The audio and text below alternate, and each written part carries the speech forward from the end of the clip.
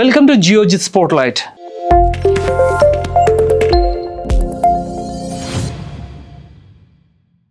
India's central bank, Reserve Bank of India, is set to raise interest rate again. There is a wide consensus that RBI will raise the rates at September 30th meeting. Geojit senior market strategist Sony Matthews joins us to share his views on tomorrow's meeting. Welcome, Mr. Sony Matthews. Uh, interest rates are uh, increasing in all major economies, and the Indian rupee is continuing its weakness against dollar. What would be RBI's next move?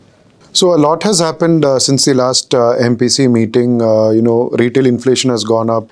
Uh, the economic growth has missed estimates. Crude oil prices come down because of expected lower demand.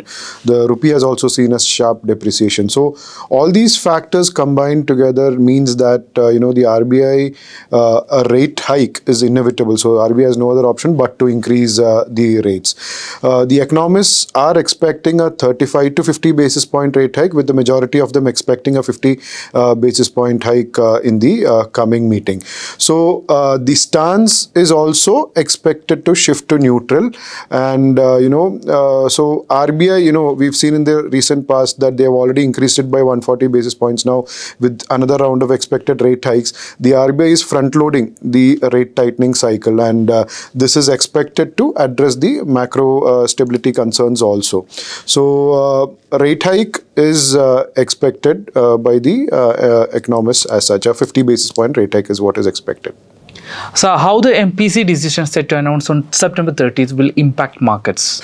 Um, so, uh, this is expected by the markets. A 50 uh, rate hike is expected by the uh, markets, and you know, barring no surprises, you know, it is expected to have a short-term impact, if any, at all in the markets.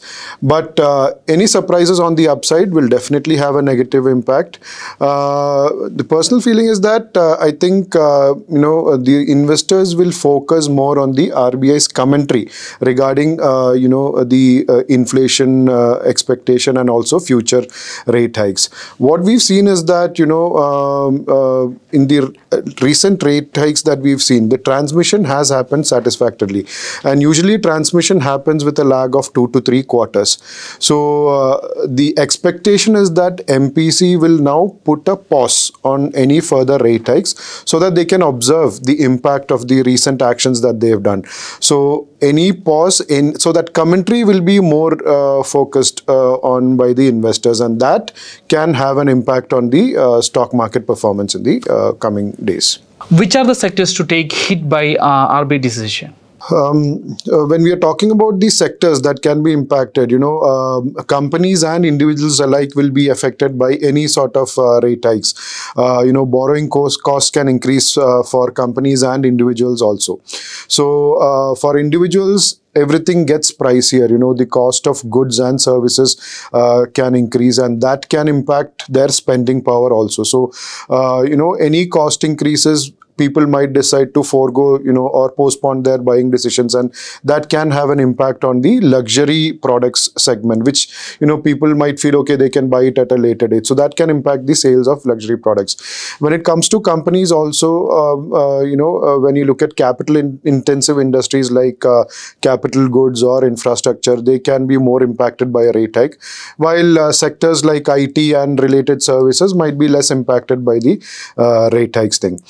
Uh, we were talking about borrowing costs increasing for individuals. So uh, the real estate sector also might be uh, directly impacted as a result of this rate hikes because home loans gets costlier other loans also, other types of loans like vehicle loans, educational loans, uh, credit cards, everything gets costlier. So that can have an impact. So sectors related to all this might uh, be affected. Uh, but we've seen that, you know, in the last one week, uh, Sensex has uh, gone down by around 4%. So maybe uh, more companies might appear to be a good buy, you know, because their prices have gone down. So um, if everything else, a direct impact on these sectors might be limited because the Sensex has already uh, come down. The prices of most of these companies will already be down. Uh, direct impact is expected to be less, but uh, uh, you know these sectors might be more or less impacted by the price uh, hikes. Thank you, sir. Thank you very much.